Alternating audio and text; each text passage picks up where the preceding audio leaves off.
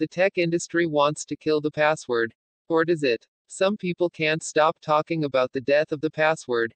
Passwords are old, insecure, and easily leaked. Soon, we'll all be using biometrics.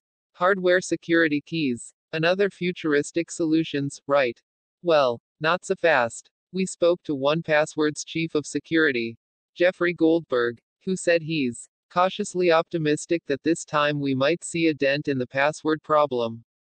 When discussing the company's goal of building a world without passwords back in May 2018, Microsoft's security team wrote, Nobody likes passwords. They are inconvenient, insecure, and expensive. In fact, we dislike them so much that we've been busy at work trying to create a world without them, a world without passwords.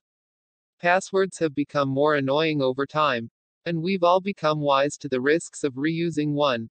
If you use the same password on multiple sites and there's a password leak, yours can be used to access your account on another website. So, you need to choose a strong, unique password for each service you use. Gone are the days of reusing a short, simple password on a handful of websites. For most people who don't have superhuman memories, it's impossible to remember a strong, unique password for every online account. That's why we recommend password managers, they remember all those strong, unique passwords for you. You just have to remember your master password, which is much easier than remembering 100 and much more secure than reusing the same one, even with a password manager. Though, this isn't completely secure. Someone with a keylogger on your system could capture your password and log in as you. This is why services add additional security. We often type a password and then have to authenticate a second time with a code or key. Goldberg said he's seen, scheme after scheme, proposed to kill passwords over the last 20 years, many of which didn't learn from what had failed in the past.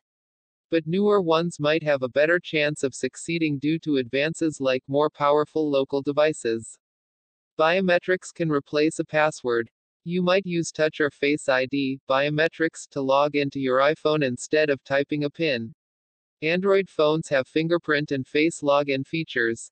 2. You can also now create passwordless Microsoft accounts to sign into Windows. Your username is your phone number, and the password you type is a code sent to your phone number via SMS. You can also use a physical security key instead of a password to authenticate your online accounts. You keep the key with you, you can even keep it on your keychain, and use it via USB, NFC, or Bluetooth when it's time to sign in. Phones can replace passwords. 2. Google now lets Android devices function as FIDO2 keys. You might also have to authenticate with a fingerprint on your phone when signing into a website on your laptop. Many companies try to reduce the reliance on passwords by offering single sign in providers. This is when you sign into Facebook, Google, etc., and then use that account to sign into other services, no additional passwords necessary.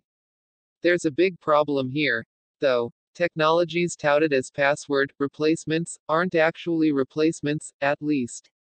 Not yet. Biometrics, like Face or Touch ID, still require both a passcode and an Apple ID password on your device. Some tasks require a PIN for background encryption purposes. 2. Biometric features on Android and Windows Hello on Windows 10 work the same way, basically. As a convenience feature, it's easier to sign into your device because you don't have to type a password each time. But it doesn't replace your password. A passwordless account that sends phone codes to you isn't great, either. Rather than one password for your account, this service generates a new one each time you try to sign in and sends it to you via SMS. This is less secure than the traditional method of a single password plus a security code sent to you when you sign in. Unfortunately, attackers easily steal phone numbers in many situations, which makes this less secure. It's a great method to reach people in countries where phone numbers are ubiquitous. And it reduces the friction of signing up for an account, which is why Amazon offers this. too. But it's not a good solution to replace passwords. Most services that have adopted physical security keys use them as an additional authentication option. You still sign in with your password. and then provide the security key as a secondary confirmation to get in. The ability to use a key without a password is still a long way off. There's a privacy problem with single sign on services. 2. When you click sign in with Google or sign in with Facebook, the service operator, Google or Facebook, knows what you're signing into. Even if Google's dream of replacing passwords with phones comes to fruition, it won't eliminate the password. The Verge summarized Google's plans this way if you're already signed into your phone, then this could be used to bootstrap the next device that you want to sign into your Google account. You might avoid using your password for a long time, but it's still there in the background. After all, you'll need it if you lose all your devices. Passwords are still widespread, they're easy to set up and use. Password replacements offer more convenience or extra security. But you'll always need a way to regain access if you lose your device and can't use your biometrics or hardware security. I think there are always going to be edge cases that require passwords, said 1Password's chief operating officer Matt Davey. For example, Sign in with Apple in iOS 13 offers a web based sign in option that uses your Apple ID password when you sign in on a non Apple device. A password works everywhere and is the universal default when fancy biometrics or hardware security features aren't available. As Goldberg said, passwords are just really, really easy for websites to implement. They're still the most straightforward thing for service operators to use. That's why 1Password is bullish on the future of password managers. The company said it had seen more new users even as competition grows. And companies like Apple, Google, and Mozilla get more serious about password management.